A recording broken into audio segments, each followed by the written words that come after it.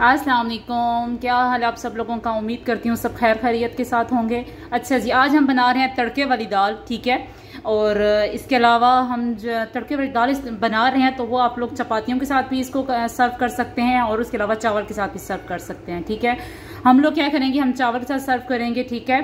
ये सब कुछ आपकी मर्ज़ी पे डिपेंड है कि आप चावल के साथ सर्व करें या रोटी के साथ, पराठे के साथ सर्व करें। तो सबसे पहले हमने क्या किया है कि हमने हाफ़ कप ये मसूर की दाल दी है हाफ़ कप हमने मूंग की दाल ली है ठीक है? इन दोनों को मैंने क्या किया है कि इन दोनों को मैंने इकट्ठा कंबाइन करके ए, एक घंटे के लिए भुगो के रख दिया है ठीक है ना? आपने एक घंटे के इनको भुगो के रख देना है सही है? तो इनके लिए हमें किन चीज़ों की ज़रूरत पड़ेगी? सबसे पहले हमने क्या लेना है? हमने टमाटर एक दत्त था मेरे पास ठीक है? उसको मैंने बारीक चॉप कर लिया है ठीक है? यहाँ पे मेरे पास अदरक और लहसन है। यहाँ पे मेरे पास सबज सबज मिर्च है ठीक है? और इसके अलावा धनिया है हमारे पास ये आयल है हमारे पास। और यहाँ पे हमारे पास पिसा हुआ धनिया है, काली मिर्च है, सुरख लाल मिर्च है, ठीक है। हल्दी है हमारे पास वन टेबल स्पून और नमक वन टेबल स्पून है हमारे पास, सुरख लाल मिर्च भी हमारे पास वन टेबल स्पून है। इसके अलावा पिसा हुआ धनिया हमारे पास वन टेबल स्पून है और जबकि काली मिर्च जो है हमारे पास हाफ़ टेबल स्पून है, ठीक है। इसके अलावा हमने यहाँ पे राईदाना लिया है और यहाँ पे हमने करी पत्ता लिया है। मोटी हमने ये साबत मिर्च हमारे पास है, ठीक है? यहाँ पे मेथी दाना हमारे पास है, ज़ीरा हमारे पास है। ये सब चीज़ें हम इसके अंदर शामिल करेंगे, ठीक है? तो सबसे पहले हमने करना है क्या है कि हमने ये जो दाल एक घंटे के लिए पहले भुगो के रख दी थी, ठीक है? भगोने से क्या होता है कि माशाल्लाह देख सकते हैं आप लोग इसमें ये फूल चुकी है और अब ये गलने में भी इसमें आसानी हो जाएगी हमें, ठीक है? मैंने ये एक घंटा पहले भुगो के रख दी थी। तो अपने क्या करना है, एक पैन लेना है हमने, ठीक है, इस किस्म का। हमने एक पैन ले लिया, ठीक है? अब हम पैन में क्या करेंगे कि ये जो दाल है, हम पैन में शामिल कर देंगे, ठीक है ना? मैं इसको तीन दफ़ा धो चुकी हूँ, ठीक है ना? इसको हमने धो दिया है। ये पैन में शामिल करेंगे हम लोग, ठीक है? पानी इसमें थोड़ा सा और ऐड करूँगी और इसके अलावा जो ये टमाटर है, हमारे पास टमाटर का पेस्ट, टमाटर का पेस्ट भी हम इसके अंदर ऐड कर देंगे, ठीक है? और इसके अलावा जो ये जो हमारे पास मिसाले हैं, सुरख लाल मिर्च है, हल्दी है थाबत धनिया है, काली मिर्च है और नमक है, ये सब चीज़ें हम इसके अंदर ऐड कर देंगे, ठीक है? इस तरीके से ये सब चीज़ें हमने इसके अंदर ऐड कर देनी है। और ये जो बाकी चीज़ें ऑयल है हमारे पास, ये अदरक, लहसन और ये सब्ज़, मिर्च और धनिया है। और ये जो सारी चीज़ें हैं, ये हम तड़के के लिए इस्तेमाल करेंगे, ठीक है? अभी फ़िलहाल हमने क्या करना है, इन सब चीज़ों को मिला लेना है, ठीक है? मिलाने के बाद हम इसमें पानी थोड़ा सा और ऐड करेंगे और इसको धीमी आँच पे चूल्हे पे रख देंगे। और तब तक रखेंगे जब तक ये हमारी दाल गल जाती है, ठीक है? ना उसके बाद फिर तड़का लगाते हैं हम लोग। तो हमने यहाँ पे क्या किया है? इसके अंदर पानी थोड़ा सा अंदर ऐड कर दिया है, ठीक है ना? पानी ऐड कर दिया और बाकी हमने जो मिसाले मैंने आपको बताए थे नमक सुरख लाल मिर्च है हमारे पास और हल्दी थी, पिसा हुआ धनिया था नमक था, काली मिर्च थी, ये सब चीज़ें हमने इसके अंदर ऐड कर दी हैं, ठीक है? और इसको हमने चूल्हे पर रख दिया है, ठीक है? आँच हमने फ़िलहाल तेज़ ही रखी हुई है, जब तक उबाल आता है, फिर उबाल के बाद हम इसकी आँच आहिस्ता कर देंगे। और अगर आँच के उबाल जब आएगा तो उसके ऊपर थोड़ी सी झाग आएगी और हमने वो झाग उतार लेनी है, ठीक है ना? उसके बाद इसको धीमी आँच पर हमने रख देना है, गलने तक। और जब ये गल जाएगा तो उसके बाद फिर हमें इसका बुखार तैयार करना है। और साथ ही हमने क्या किया है कि चावल जो थे, हम उसको भिगो के रखते हैं।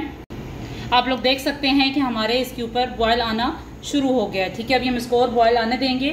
ठीक है, इंतज़ार करते हैं, जैसे इसके ऊपर बॉयल आएगा, जो इसके ऊपर झाग आएगी, हमने झाग को उतार लेनी है और उसके बाद हमने इसको धीमी आँच पे हमने रख देना है। दूसरी तरफ़ हमने क्या किया हमने चावल भिगो के रख दिए हैं, ठीक है ना? इसी तरह हम साथ चावल ज़ीरे वाले सर्व करेंगे, ठीक है? बस हम इसके अब बॉयल आने का इंतज़ार करेंगे।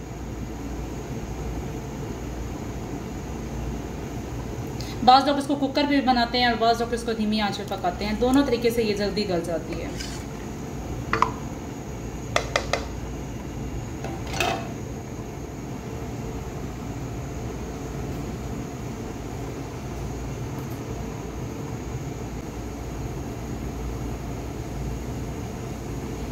आपको नज़र आ रहे होंगे बस उबाल प्लीज़ हमारे चैनल को लाइक कीजिए शेयर कीजिए सब्सक्राइब कीजिए और प्लीज़ कमेंट करके मैं बता दिया करें कि आपको कौन सी रेसिपी हमारी अच्छी लगी।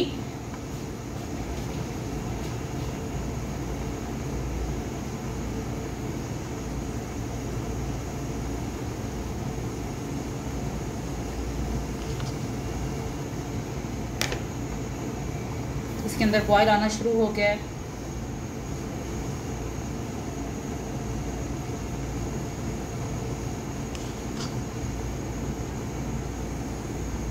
ये जो हमारी इसके ऊपर झाग है, हम झाग को उतार देंगे, ठीक है, इस तरह।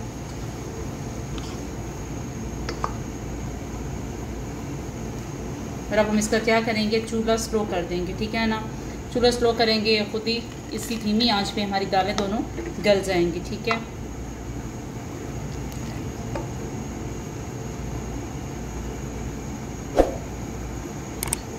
ये हम चाक इसको उतारते जाएँगे, ठीक है?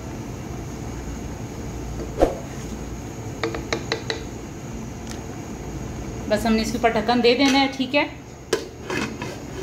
और इसकी आँच हम अब स्लो कर देंगे, ठीक है? इसके गलने का हमारी दाल माशा देख सकते हैं आप टेंडर हो चुकी है, क्योंकि ये ठंडी होने पे और गाढ़ी हो गई थी, ठीक है? अब हमने क्या करना है, हम इसका तड़का तैयार करेंगे तो तड़का इसका तैयार करती हैं, ठीक है ना?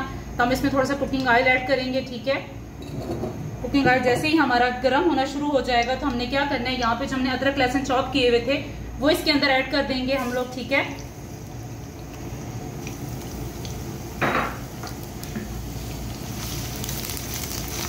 जैसे ये हमारे थोड़े से हल्के ब्राउन होंगे।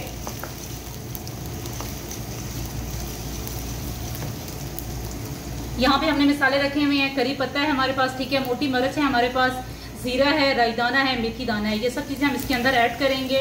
इसके अलावा हमारे पास यहाँ पे सब्ज़ मिर्च भी है और धनिया हमारे पास कटा हुआ पड़ा हुआ है, ये सब चीज़ें हम इसके अंदर ऐड करेंगे और सबसे एंड पे जो हमारा है, वो हम इस पर बटर ऐड करेंगे, ठीक है? अभी हमारे प्याज और सॉरी अदरक और लहसुन हमारे ये ब्राउन हो रहे हैं।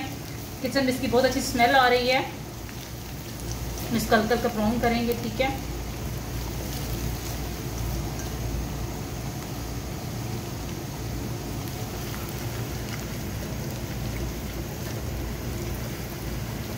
अब हमने क्या करना है, ये ब्राउन होते रहेंगे। साथ हमने जो सारे सारे मसाले थे, हम सारे इसके अंदर ऐड कर देंगे, ठीक है?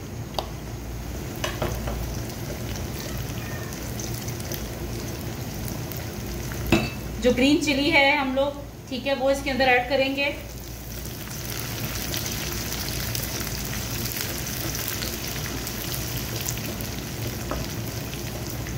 हमने इसकी आँच स्लो ही रखनी है ताकि जो हमारा लहसुन अदरक है वो जले नहीं, क्योंकि हमने सिर्फ़ इनको ब्राउन करना है ना, कि हमने रेडी है। अब हमने क्या करना है? पैन का ढकना, उतारना है, ठीक है?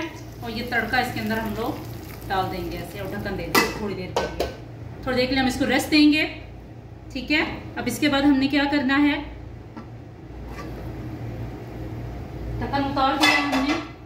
अब यहाँ पे हमारे पास जो ग्रीन चिली है और धनिया है, वो हम इसके अंदर ऐड कर देंगे ऐसे।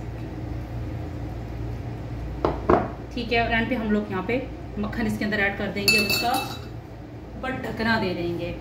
उम्मीद करती हूँ आपको मेरी दाल पसंद आई होगी। प्लीज़ लाइक करें शेयर करें और कमेंट करके मुझे ज़रूर बताइएगा कि आपको मेरी रेसिपी कैसी लगी और दुआओं में याद रखिएगा। अल्लाह हाफिज़।